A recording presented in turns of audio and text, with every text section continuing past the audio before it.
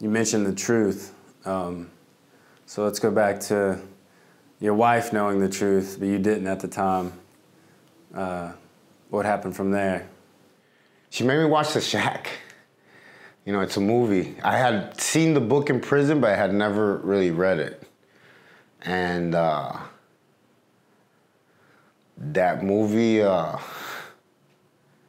it, it changed changed the way that I felt about God. I, I came to realize that, you know, he he wanted me to tell him how mad I was. He wanted me to tell him how I felt. Like he wanted all these things, and I, I didn't under, I didn't know, you know, I didn't know that that I could do that, or I just I didn't know nothing about religion, so I didn't even know how to. I didn't even know how to pray. So when I watched that movie, I mean, it was I couldn't stop crying. I couldn't stop crying because I started to feel something. Something was like moving around in here, and I just didn't know what it was. So uh, that's where it started.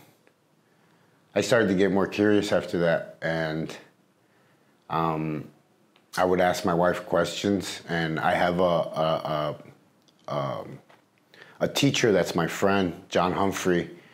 He ends up discipling me later, but you know, a good Christian man has been a Christian since he was nine years old. Cop for 30 years. Um, the unlikeliest friend I would ever have, and he's like one of my best friends now. Um, he started, you know, teaching me and showing me and gave me some devotions to read, and he started coming over to the house. And uh, November 6th, November 6th, I fell down to my knees. And I just said, I mean, you have my attention. Like, I, I, I just didn't know what to do from there. And um, I'll never forget. I mean, the feeling I got, uh, I started crying. I, I put my head to the floor because I felt like so embarrassed that I couldn't even look up. I started confessing everything out of my mouth. I don't even know why. I didn't, I didn't even know that I had to do that. And it just all started coming out. Everything, everything. Who I hated, who I had, you know, jealousy against, who who I lusted against, like just everything started coming out. And um, I, I just felt like a new person when I got up that day. Something was different. And it was in here. So I, I started to study more. I started to study more. Um, I started looking for a church. I started befriending more Christian men.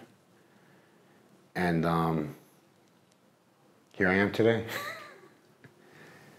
In your early walk, what was the most surprising thing you learned about God or his characteristics? Just the love. The, just the love that you share with him is so powerful. Um, you know, one of the biggest things that I love doing now is talking to him and telling him how I'm feeling, and just telling him that I need I need his help, I need his strength to to get by when I'm having bad days, you know, or, or just having trouble in my life.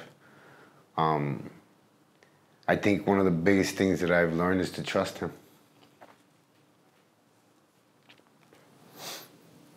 Since uh, you began your walk with the Lord, I assume you've had to get some pushback, maybe from uh, people in your past life, uh, whether it be family or anybody. Um, maybe some naysayers or people that doubt that it's real, it's going to last. Um, was there any of that? Well, at the beginning, a lot of people thought I was full of crap. A lot of people thought that I was like chasing the cloud or you know chasing likes and stuff like that. And and I, I understand, I get it. I mean, they they watched me for years, you know, swearing and and saying just crazy stuff out of my my mouth, and and they couldn't understand this new JC. they couldn't understand that I always do the comparison. I went from being the Tasmanian devil to Winnie the Pooh. You know, I'm Winnie the Pooh now. So it, it's like for them it was a shocker, and they didn't believe it. Didn't believe it because I mean I was that I was that person for forty something years. So uh, the the biggest I say I, that eye opener for me was when I went back to the gym after I started my walk, because I had to apologize to everybody that I was rude to and that I offended and I hurt their feelings. Like I had to apologize to every single person in there, and um, it was very powerful.